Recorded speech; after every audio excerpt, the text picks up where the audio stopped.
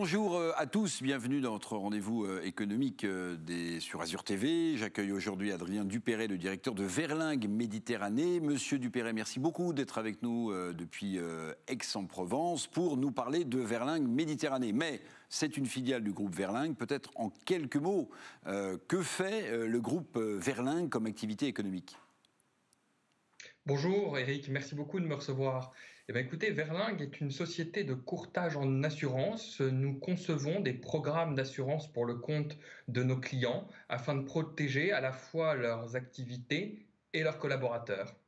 Alors, est-ce qu'on peut avoir quelques chiffres euh, concernant le groupe Verlingue? Je ne sais pas combien de collaborateurs euh, au niveau euh, national, combien de chiffres d'affaires, par exemple? Quelques chiffres.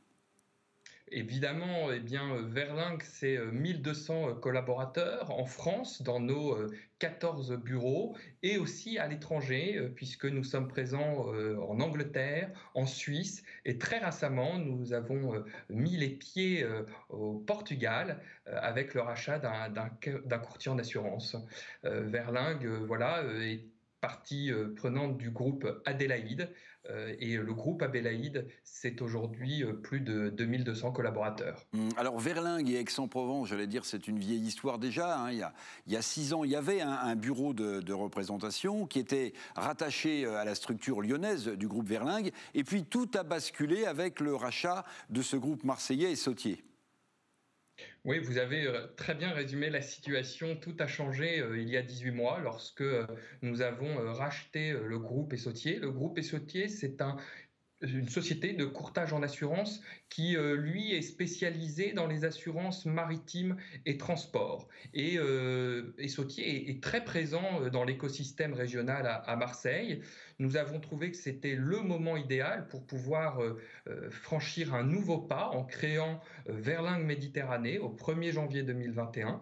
Et désormais, Verlingue Méditerranée, c'est plus de 35 collaborateurs, à la fois des généralistes de l'assurance, mais aussi désormais des spécialistes du maritime, du transport, sans oublier nos collègues de Verlingue Immobilier. Hum, alors on peut dire qu'avec euh, cette acquisition, le groupe Verlingue, qui faisait du courtage plutôt euh, classique hein, euh, dans le secteur de l'assurance, maintenant étoffe sa, panoplie avec du courtage en direction du transport et notamment maritime.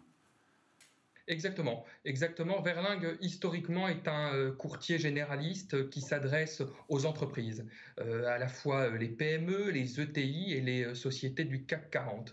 Et puis, ce qui a changé au fur et à mesure, c'est que nous sommes spécialisés dans certains secteurs d'activité. Un exemple est le maritime et le transport, un autre est l'immobilier, l'assurance des sociétés de l'immobilier, mais aussi le médico-social ou le secteur de la pharma. Hum, alors, euh, Adrien Dupéret, vous êtes le, directeur hein, de, Verlingue Méditerranée. Je le disais en commençant euh, cette émission. Vous avez parlé de 35 collaborateurs aujourd'hui euh, installés à Aix-en-Provence. Est-ce que vous avez des ambitions d'embauche de collaborateurs, de, de, commerciaux? Quel est votre plan d'action pour cette montée en puissance de Verlingue Méditerranée?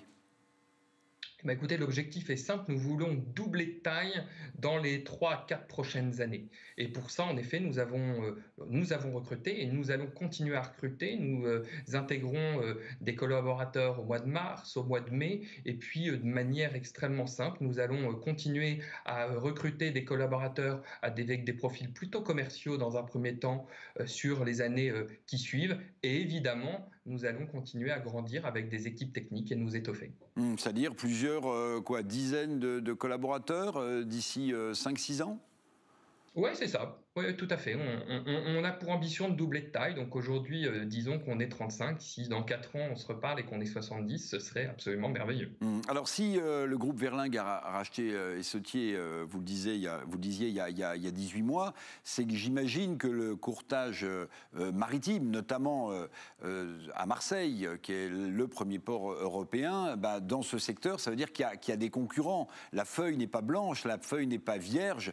Quels sont vos concurrents et quels sont les atouts comparatifs de Verlingue Méditerranée et Sautier versus vos concurrents?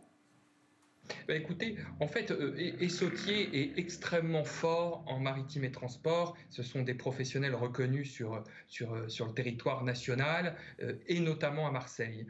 Concernant nos, nos, concurrents en région euh, méditerranéenne, ils sont, je dirais, de, de, de trois types. Nous avons d'abord, et nous sommes, une terre d'agents généraux, c'est-à-dire des agents qui sont liés à une compagnie d'assurance. Nous avons aussi des courtiers régionaux de plus petite taille, je dirais. Et nous avons ensuite des courtiers à dimension nationale. Euh, la plupart d'ailleurs des courtiers nationaux sont présents euh, à la fois euh, à Marseille, mais aussi à Montpellier, à Aix-en-Provence ou à Nice. Hmm. Alors parmi les, avantages euh, comparatifs, vous savez, c'est mes vieux réflexes de théorie économique, euh, Ricardo, le, papa des avantages comparatifs, on dit souvent que euh, le groupe Verlingue, l'un de ses avantages, c'est sa méthode de, travail qui est plus celle d'une fourmi qui chemine modestement et humblement et qui aime le travail que des coups d'éclat. Je me trompe, je me trompe pas? Non, vous avez tout à fait raison. On, va dire qu'il y a trois choses qui, nous distinguent sur le marché. D'abord, nous sommes, et il faut le rappeler, un, cabinet de courtage euh, familial. C'est important, c'est important parce que tous nos confrères ne le sont pas. Nous sommes à dimension nationale et européenne. Première euh, chose. La deuxième chose qui nous distingue de nos concurrents, c'est nos valeurs. Nous avons des très fortes valeurs euh, avec en son centre nos collaborateurs et l'humain. Et euh, moi, en tant que dirigeant, au quotidien, c'est quelque chose qui me tient énormément à cœur, la manière dont nos collaborateurs vont grandir dans notre univers. Et puis la troisième chose qui peut nous distinguer aussi euh, de nos collaborateurs, vous l'avez dit, on est des gens assez euh, humbles, nous travaillons euh, dans l'ombre et notre objectif, il est double, c'est sécuriser nos clients, sécuriser leur activité, sécuriser leurs collaborateurs pour éviter en fait que l'assurance ne soit que entre guillemets de l'assurance, mais on est surtout là aussi pour prévenir les risques de nos clients. Hum, derrière vous, il y, a, le logo du, groupe Verlin que j'aime bien, de deux bocaux avec un poisson rouge qui passe d'un bocal à l'autre. Vous, vous êtes là pour euh, vous assurer que le poisson rouge retombera bien dans un bassin d'eau. C'est ça l'idée? Oui, l'idée c'est la fluidité, l'idée c'est la simplicité. Voilà, le, secteur de l'assurance est quelque chose de complexe, on en reparlera, surtout ces derniers temps.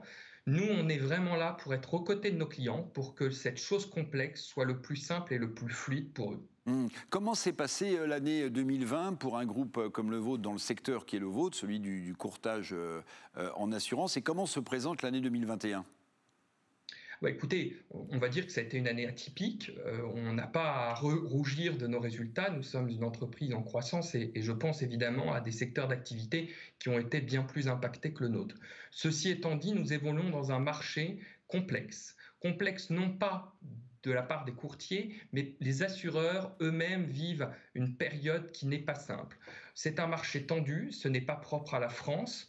Internationalement, le marché se durcit pour trois raisons principales. D'abord parce que les aléas climatiques ça devient vraiment plus des aléas, il y en a de plus en plus, et l'impact pour les assureurs n'est pas neutre. Je pense évidemment à la tragédie que notre région a vécue euh, en octobre avec cette tempête qui a euh, occasionné à la fois des drames humains exorbitants et puis surtout euh, des, des, des, coûts de reconstruction absolument faramineux. Ce genre de situation, nous les mmh. vivons, les assureurs le vivent et continuons dans le passé, continueront dans le passé pardon, à, à le vivre. Deuxième chose qui se généralise, ce sont les méga sinistres, les sinistres que je pourrais appeler complexes et diffus. Je pense au sinistre de Rouen et à cette usine Lubrizol. Sachez par exemple sur ce sinistre que ça a, occasionné plus de 4000 sinistres connexes au sinistre principal. Et puis la troisième chose qui fait qu'on est dans un marché compliqué, c'est qu'on est dans un marché avec des, euh, taux d'intérêt qui sont extrêmement bas.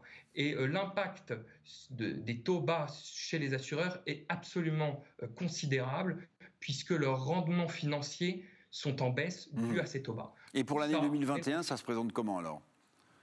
Et tout ça pour dire en effet que euh, le marché est complexe. Pour l'année 2021, ce marché complexe va perdurer. Toutefois, ce qu'on peut dire, c'est que euh, nous sommes euh, face à un marché en pleine mutation où le digital est, au cœur de nos problématiques, où on a à la fois des problématiques d'absentéisme extrêmement fortes dans les entreprises, qui fait que ce, sujet de protection mmh sociale des collaborateurs est vraiment très important. On a aussi un une politique cyber qui est vraiment à prendre en considération. Sur ce sujet, un mot, la question n'est plus de savoir pour les dirigeants si l'attaque aura lieu, mais quand elle aura lieu et surtout comment je. Là, on parle de cybercriminalité, donc. Hein.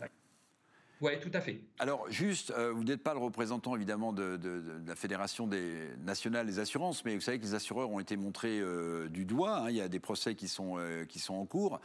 montrés du doigt, parfois même par le président de la République, hein, dans, des discours, en disant mais il faut que les assureurs mettent plus à la poche. Ils ont moins de sinistres, mais ils, ils, ils, ils encaissent les primes. Comment est-ce que vous avez vécu cette mise en accusation? Bah écoutez, euh, moi personnellement et, nous, Verlingue, euh, on, ne l'a pas mal vécu parce que nous sommes, vous le savez, extérieurs à cela. nous sommes représentants de, nos clients. Ce que je peux vous dire, c'est qu'on a été extrêmement actifs auprès de l'ensemble de nos clients pour être vraiment focus sur la défense de leurs intérêts, pour faire en sorte de pousser tous les dossiers qui nous sur lesquels on, avait euh, le, entre guillemets le le lead le lead et, sur lesquels on pouvait euh, faire avancer les dossiers. Mais euh, en tout cas, ce n'est pas quelque chose qui nous, personnellement, nous a impacté. Toute dernière question, plus personnelle, Adrien euh, Dupéret, directeur de Verlingue Méditerranée. Vous êtes extrêmement jeune, hein, ça, ça, se voit. Quel est votre parcours? Comment vous avez atterri dans notre belle région? Écoutez, euh, moi je suis euh, chez Verlingue depuis une dizaine d'années. J'ai eu la chance d'évoluer dans une entreprise qui m'a fait confiance, qui m'a permis de, grandir en interne. Et puis euh, il y a quelques mois, à la fin, au début du confinement, m'a été proposée cette superbe mission que de rejoindre notre région pour pouvoir faire grandir Verlingue avec de fortes ambitions. Moi c'est une région que je connais très bien, pour laquelle j'ai beaucoup d'affection, dans laquelle j'ai eu beaucoup de souvenirs en tant qu'enfant puisque j'ai des racines qui sont pas tout à fait dans notre région, mais tout proches, puisque j'ai des, racines d'origine corse. Bon, merci beaucoup de toutes ces précisions. Merci d'avoir été l'invité euh, d'EcoAzur. Adrien Dupéret, directeur de Verlingue Méditerranée. Quant à nous, quant à nous bien, on se donne rendez-vous évidemment dans une semaine pour de nouvelles aventures économiques. À bientôt.